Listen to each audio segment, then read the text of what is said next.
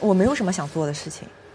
就我到现在为止，可能拍短视频，嗯就做这种呃体量的这种创作，可能还真是我最喜欢的事情。嗯，那为什么这个方式你觉得最喜欢或者最让你因为我脑脑子里面想法太多了。就需要不断的释放出去？对，这是你用别的表达的方法、表现的形式所达不到的。嗯把它写成剧本、写成文章，它有很多东西很难用文字去给它写出来。拍电视剧、拍成舞台剧，周期太长，然后它体量没有那么大，嗯所以可能短视频反而是给我提供了一个很好的去表达我自己想法的一个手段。嗯，因为一开始从第一条开始没多久，中间过中间过了半年，时候其实就是一个爆炸性的成功嘛。嗯，你现在回忆起来，那种冲击到底什么什么感觉呢？就它其实分好几层。你真说第一反应的话，就是很开心。嗯但是呢，对你来说没有什么影响。它所有的这些都体现在数字上，转发了多少多少，嗯你的生活没有改变。然后慢慢的，对你的讨论越来越多了，甚至是你走在路上会有人认出你了，你才开始觉得这个东西入侵到你的生活了。嗯就你不知道怎么去面对。嗯，再到后来就是恐惧了嘛，很恐慌，那时候很恐慌。你恐慌是大概什么阶段？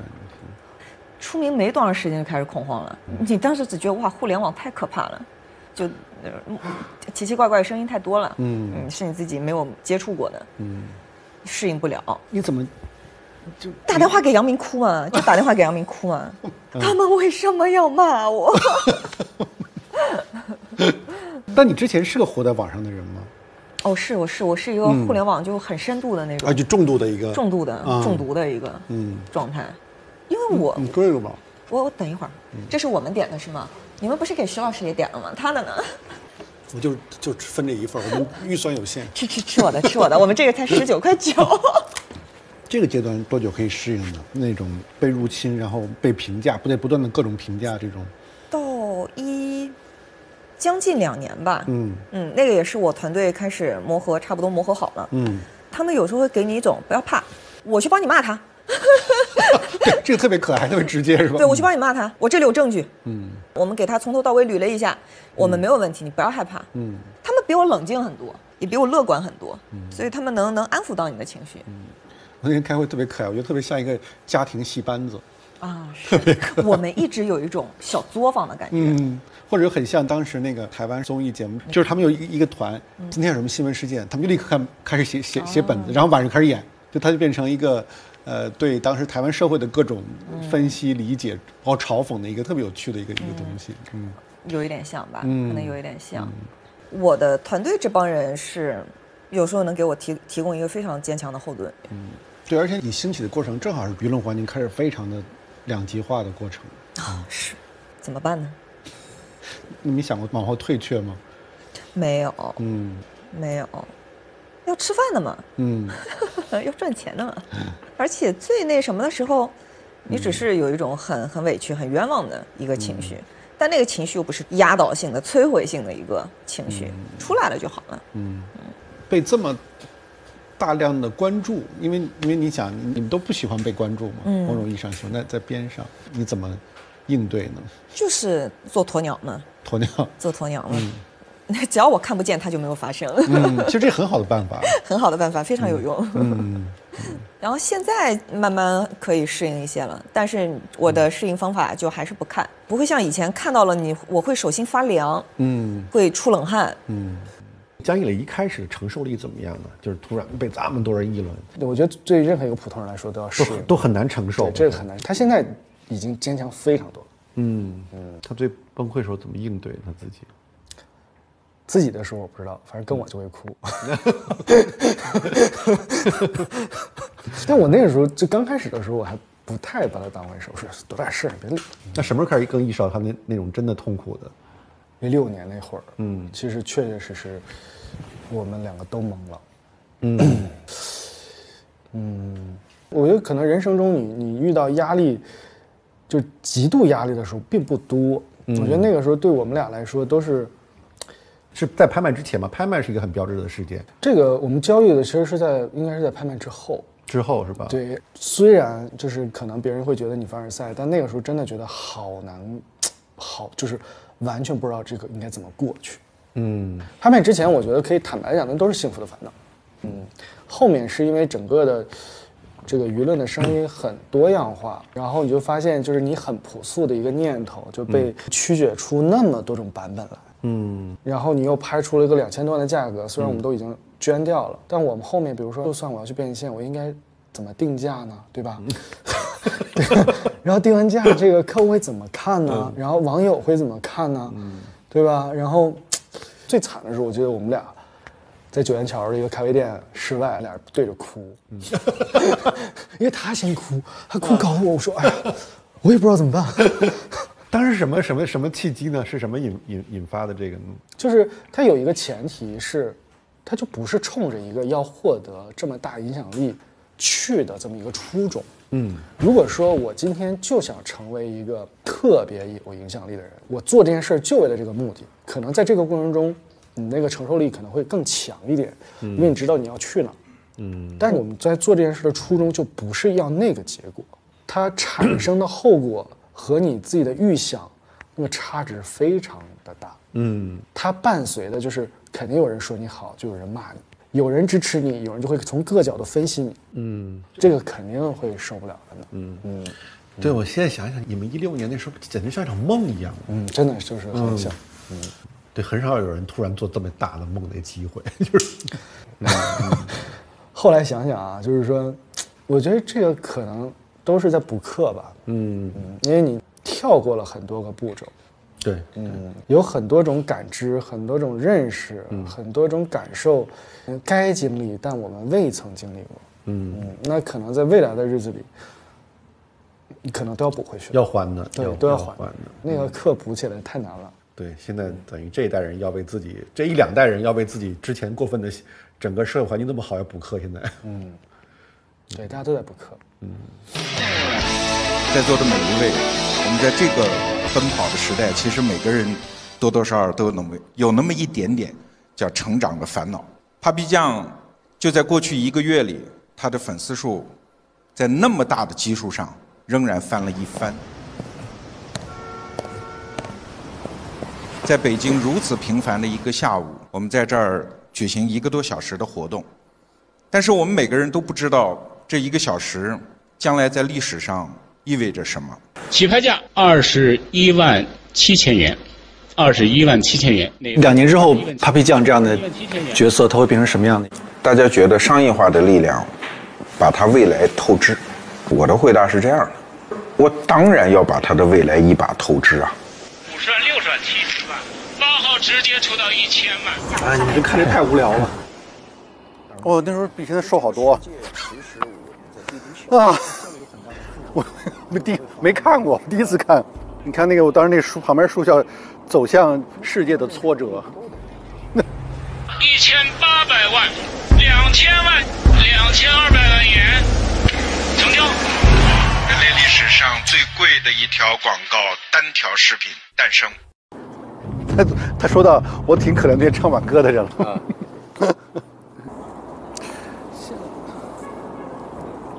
就。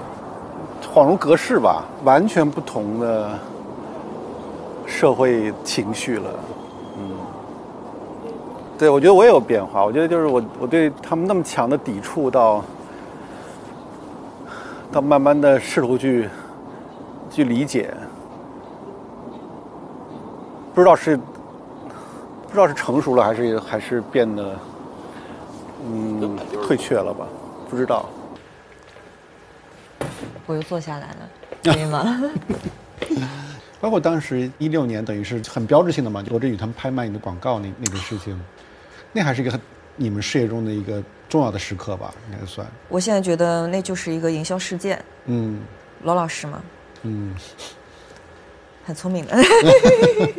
您采访过？我们第我们这个节目第一季就是罗振宇。对。啊，对对对对对对对。对，反正他说话我也经常听不懂。嗯嗯嗯，但后来我是把这些事情全都交给杨明。嗯，这个事情怎么搞我不管，但我我不上台，我不会改变我做内容的东西。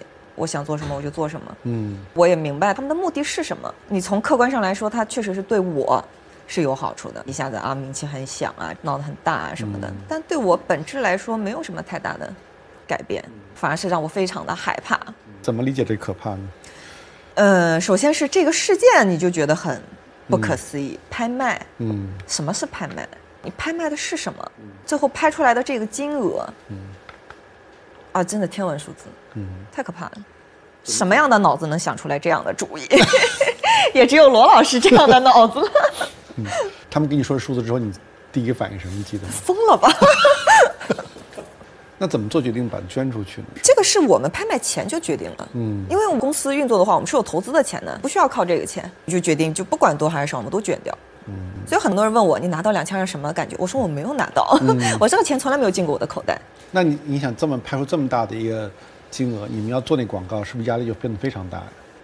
是有压力，但是这个压力呢，你无从无从排解，嗯你不知道应该怎么做广告，客户也不知道，我都不说那会儿，我觉得现在的客户也不知道应该怎么做广告，嗯所以那会儿就只能是你觉得这个广告应该是怎么去做，嗯，我觉得可能跟十三幺对待客户的态度差不多吧。我们没碰过这么多钱，不知道。下次有一集我们给我们两千万，我们就好好想想怎么做这一集。不用那么多，给多少都是甲方。你是太成熟了，现在。没有，我们是现在真的觉得，嗯呃就是如果有广告，我要把内容做得更好。嗯我不能让别人看完之后觉得这就是为广告做的。嗯我不能接受这种事情。所以我们有广告的话就做得好嘛，客户的钱也不是大风刮来的。那你想一开始，你像从一五从那个冷了是吧？嗯，有一点冷，今天阴阴的。那比如从一五年，呃底的时候，你其实有有那么一段时间，你们做什么都是一个风潮，那是什么感觉？就是匪夷所。思，嗯，匪夷所思，莫名其妙，自己也不理解。那问题是，比如那阵风那么大的吹过来，什么时候你开始觉得风力下降了？不是该做什么都是被引起那么多的关注的。也就两三年以后吧。嗯嗯，我觉得那个才是正常的。我觉得一直被顶在上面，反正对我个人来说，我觉得也不是好事儿。那个时候刚开始被吹捧的时候，我就跟杨明说：“我说我特别怕捧杀，嗯能把你捧得多高，就能给你摔得多惨。嗯。我不需要那么惨痛的东西。但你说的就是说被捧得高高的，就担心被摔得重重的。那你曾经被高高的呀？那你也没也没有摔得重重的。没有被摔，其实、嗯对平缓的一个下降的一个过程。那担心那种衰退嘛？大家对你做内容不感兴趣，也没人关注这些内容了。我觉得早晚会有那一天吧。你只要接受这个，你就没有很担心。就做到自己没有想法了，或者确实他不被需要了，那就停了呗，停了就停了。你现在怎么评估你现在的想法的旺盛程度呢？现在想法的旺盛程度，它不像以前，因为现在我说实话啊，限制太多了。嗯嗯，我觉得一五年能做的很多东西，现在都做不了了。嗯，跟那个气氛比较宽松有很大的关系。嗯，你既要有自我约束的，你又要有平台约束的，你也不能去调侃。嗯有很多观众会觉得你调侃就是不敬，嗯你也不能去评论，嗯，你评论就是，我很害怕冲突，嗯。任何形式的冲突我都很不喜欢，嗯。而且现在有时候总会有一种怕自己说错话，怕自己表达不清楚，然后有时候因为你自己随着你粉丝数量上来，你对自己的自我约束也会很大，嗯。那所以我能做的东西开始变得非常的少。嗯有时候我真的觉得不可理解。我们曾经有一次做了一个反讽的内容，就是你第一眼看过去，它就是一个反讽。然后评论里面说你怎么可以提倡这种东西？嗯我说我在反讽啊。嗯所以我们后来会在所有反讽的视频后面加一个，我们这个视频是为了嘲讽，绝对没有任何提倡的意思。就有些人看到一半儿就已经给你下结论了，三观不正。不断说三观是从什么时候开始的呀？是一五更往后吧？哦，我觉得比一五年更前了。嗯三观很正啊，什么什么的。但后来是谁说的？三观没有什么正不正，它只是是不是符合当下最主流的一个。嗯，而且你什么时候开始感觉到，比如说大家在观念上应该更开放，因为随着这个技术啊，这个交往的增加，嗯但实际上它越来越保守的趋向。一八一九年吧，嗯那会儿开始很明显的觉得网络的舆论开始变得很很奇怪的走向，嗯极端的声音非常的多。但我觉得这有时候反而觉得你上网上多了，限制了你，嗯，限制了你的很多思考。是啊，前两天是看谁说的这个，你的思考到底是谁的思考？嗯嗯，你的想法到底是谁的想法？嗯，对，这种不断的思就无处不在的这种，就会使人完全就僵化了呀，完全就是会，它能变形吗？然后去找一个缝隙可以表达。看值不值吧？嗯你是有多想表达这个事情，嗯，然后这个缝隙，你确定你能找到吗？嗯，其实要找的这个缝隙，可能得用圆滑吧，你得是那种吸溜一下，没有任何的毛病，出不了任何的错，同时还能表达你自己想表达的东西。那那其实某种意义上，你的感受力已经伤害的差不多了。嗯。嗯。那那我觉得，如果是这样的东西的话，代表你没有那么想表达，嗯。你或者说你的这个观点不值得，没有那么值得去表达。如果是一个需要滋溜一下的，就这种时候，你要表达的一定是一个多多少少有一些棱角的，嗯。有一些刺的东西，就是嘲讽，哪怕我不是针对一个特别大的一个命题，嗯。它也得是有一些刺的。但现在这个刺是没有人敢打保票说你这个东西发出来 OK 还是不 OK，嗯，挺要命的。什么时候开始觉得保持对生活的一些刺是非常必要的？一直都是，嗯，小时候就感觉是吧？嗯，小时候就有，尤其是我们现在做，我也不能说我们这是这个是喜剧，嗯，或者是类喜剧吧，嗯，一定是对生活有很多意见的人，嗯。才能做出好笑的东西。在我眼里有三种笑：搞笑、可笑和好笑。嗯。我觉得搞笑的东西是真正的搞笑，比如说周星驰那种无厘头的，它是需要很高超的技术的技巧的。嗯可笑的东西是可遇不可求的，大多数发生在生活中。你一定要能发现这种可笑，你才有可能去做好笑的东西。然后好笑的是幽默的，是喜剧的。你需要有一些设计，你需要有一些观察，嗯，你需要有一些生活的东西来帮助你，你觉得你最擅长哪种？都不错，都还行，都还行。嗯，确实是这三个也就涵盖了我的视频的所有。那这个趋向呢？这这三种哪种会越来越多呢？面对这个环境，好笑吧？嗯好在吧，你生活还是在继续，你还是会有邻居，你还是会有亲戚，你还是会有朋友，你还是会有同事，你还是会有你很普通，但是每一天都会过的生活，你会发生很多的事情，你从还是从这些事情里面去汲取一些灵感，嗯然后同时有一些你自己要表达的东西，你去把它产出。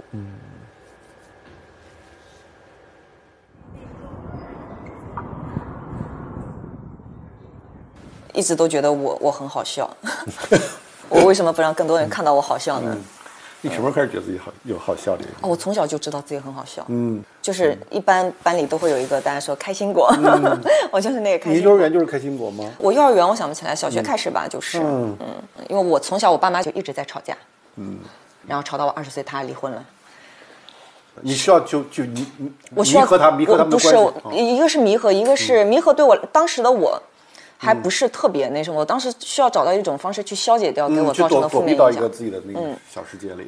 我觉得是，嗯，就是因为他俩一直吵架，所以才造成我是一个开心果的人。嗯，我那个小时候一直在想，就是赶紧，就是忍过去就好了，明天就可以去学校了。你可以让大家开心，嗯，你可以让大家跟你一起笑，你就觉得啊，这个生活还是很美好的。嗯，哦你这么了不起啊！没有，我觉得是很无奈的吧。就如果我爸妈是很恩爱的，我可能也不是现在这样。也是小孩子的生存生存方式。，对，但所以我也觉得，就是我觉得有些人把原生家庭看得太重了。我觉得原我特生家庭烦这个，其实，嗯，他不是不可逃避的，所以我是尽量不要让原生家庭的东西影响到之后的我。嗯，就是你可以创造一个新的自我的。嗯嗯。那你觉得你爸妈听到你讲这些话，他们会什么反应？我们没有很深刻的聊过，嗯但是我有一次是我二十岁，我跟我妈有过一次非常巨大的争吵，嗯母女俩从来没有掏心窝子说过话，只有那一次争吵是掏心窝子说的，两个人眼泪狂飙。嗯那会儿他们已经离婚了，那一次说你知不知道你们给我带来多少痛苦？嗯我有多痛苦，你知道吗？嗯告诉我妈。然后后来我妈也狂眼泪狂飙，我也不想让你痛苦啊，我也很痛苦啊什么的。我说我知道你很痛苦啊什么的，你跟跟演电视剧一样。但后来那一次巨大的那个争吵之后，得到了母女俩的大和解。嗯，因为可能真的需要释放之后才能。嗯你爸妈是什么样什么样的人？他们俩都非常有生命力。我妈妈是下岗的那一批，是一个国企，那时候全全国都是嘛。对。但是我妈从下岗到她后来退休，她只有半年是没有工作的。嗯她应该换了十几二十个工作。嗯然后我爸爸是上海大学中文系，嗯做记者啊，做编辑啊，自由撰稿人啊什么的，那你爸是跟我同行。差不多，嗯差不多。然后我爸后来开始研究，研究什么呀？也是比比如说上海的近代史啊什么啊，的！喜欢研究这些，嗯，我估计我跟你爸挺聊得来的。啊，肯定你俩肯定聊聊得来，我都不跟我爸聊这个，我爸跟我说，你知道吗？上海，嗯，在开埠以前，嗯，在金山那里，挺不要听。就那时候，你现在想想那时候九十年代上海是什么感觉呢？那会儿的上海，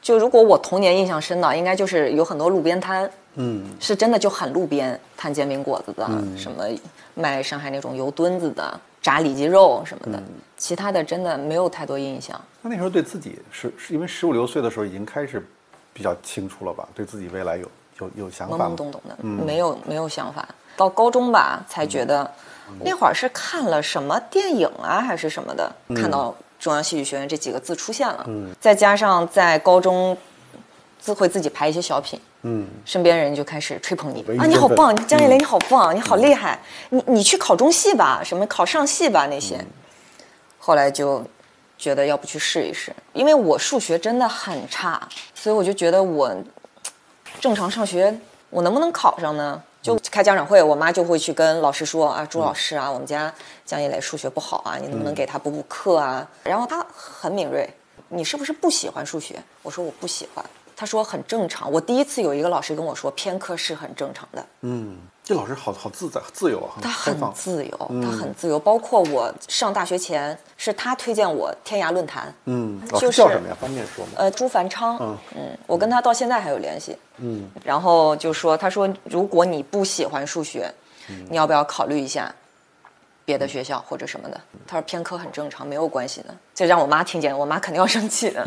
后来我就跟他表达过我想上中戏，然后有一天朱老师就说中戏开始报名了，你要不要去报名？我说我不报了，我爸妈肯定不允许。他说你不要考虑你爸妈。你就说你想不想？我说那我试一试。我们一共是三试，每一次考试的费用是一百块钱，他就每一次帮我交钱，然后每一次带我去考试，我在里面考，他就在那个学校外面等我。嗯，到进三试的时候，我在上课，他早上骑骑自行车去上戏帮我看保，老师这么好，很好，对我真的很好。然后给我发信息说：“你上，赶紧过来。”然后那会儿是班主任在上课，我就腾的一下站起来，我说我进三试了。然后所以全班给我鼓掌，啊，然后老师赶紧去，赶紧去，赶紧去，嗯，那是很人生很很很很动人的时刻。很动人，很动人。到现在想起来都觉得很激动。嗯他说，但他那会儿当时多大年纪啊？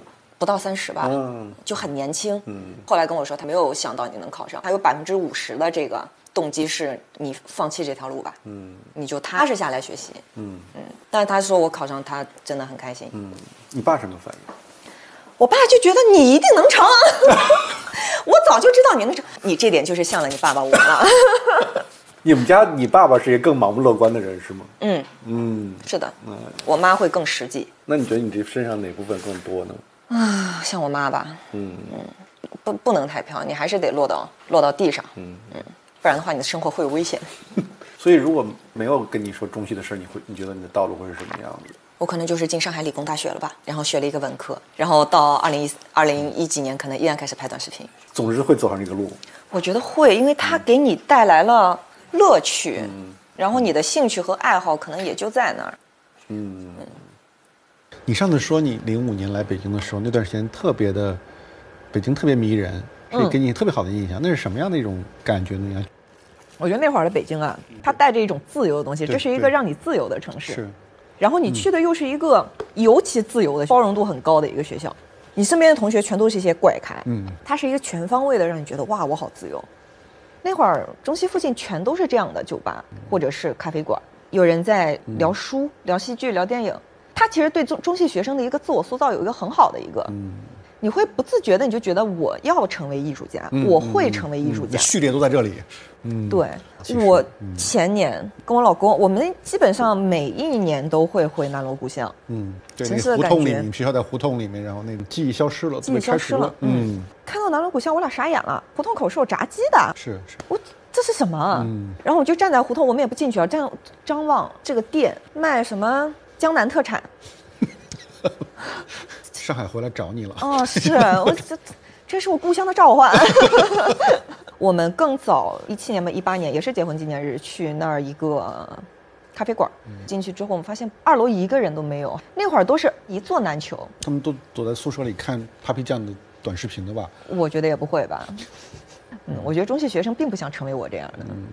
大部分中戏学生啊，我觉得，因为我也没有想想到我会成为我这样。嗯，那你喜欢你成为你这样吗？很好啊。嗯我听说那天他们都被问到有没有遗憾，或者说觉得我的遗憾是什么？嗯，还做挺多功课，你还。没有没 有，就我们公司同事都很八卦，我发现了，现在。嗯，尤其是对你老板，对他们来说而且？肖姐他们特别开心吗。我也很开心，他们被我们的同事消解，然后他们就会给我播报一下。嗯，对，遗憾。我这两天就仔细的想了一想，嗯我没有遗憾，因为我可能就我觉得我没有能力去那样，我能到现在这样，可能就是因为我运气好，嗯然后加上我个人的一些天赋和一些努力。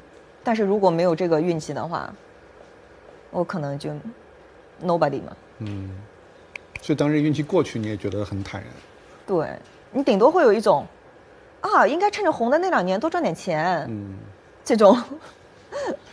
我可能是觉得我不想过很累的人生，我觉得有梦想有理想要去拼搏是一件很累的事情，就只是想轻轻松松的过吧。这样是是不是在在徐老师眼里，这种是非常充满羡慕啊！不是啊？因为我觉 得我觉得您这种是，怎么可以不思考？怎么可以不努力？你不要消解我，很喜欢消解，笑是这样的。因为因为我我觉得可能是不是人的性格不一样。当我处在一个更充满意义的时时刻或者是世界里面，我是更放松的。其实你你那个地方你你是达不到的，但你意识到你在朝向那个地方努力，我是最舒服的状态。嗯嗯，但是如果说那个远方的地方消失了，让我处在一个其实我很看起来没有任何压力的地方，但我是非常不自在的。嗯。我可能跟您就正相反。嗯，我觉得我我更多的我有很多的无力，我有很多的视频其实是基于一种无力感，嗯，去做的一些反讽的呀，一些什么的呀，一些有针砭时弊的呀，并不是出于愤怒去做的，因为毕竟我是想做有就好笑一些的，我不想很很严肃的去那什么，因为你这样的话，你可能只能服务于你，服务到你自己，可能大家看完不会有你相同的感受，没有办法跟你感同身受。你还是想我用最简单、最简单的一个方式，让更多的人去明白我什么意思。嗯，你如果用愤怒的话，这个方式很难找的。啊，那你会觉得有某种怎么说呢？你其实过去的时时很长一段时间，不管是这个时代社会也好，包括这个更年轻的群体兴起也好，大家是有意识的，呃，去历史化嘛，不不去面对更更长远的东西，然后更活在此刻，包括更碎片化，去回避掉沉重的事情，刻意把自己放在某种天真的状态里面去，或者回避去思考这一切事情。这个没有办法，有很多人是看不到这些的，就是，嗯所以我觉得有很多不是一个刻意的回避，嗯。然后普通民众永远都需要被娱乐，永远都需要更开心的事情。虽然我说我们这一代人没有吃过苦，但你说一个八零后如果背着房贷，还养着家，加班太多，他也苦。是，你内心的苦一旦是你个人承受的一个极限，你感受不到大众的苦，那我就刷刷抖音，我看看我消遣一下。为什么要去感受大众的苦呢？我自己很苦了。或者说，对，其实每代人都有自己的苦闷嘛。刚你说这种也是一种苦闷，对但好像这种苦闷，大家又不知道怎么去表达这个苦闷。某种意义上，我可以这么说吗？一？直我也不知道。没有一。直没有表达方式的，不管什么年代的苦闷、都没有表达方式呢。嗯。前一阵儿有几天晚上我就睡不着觉了，嗯。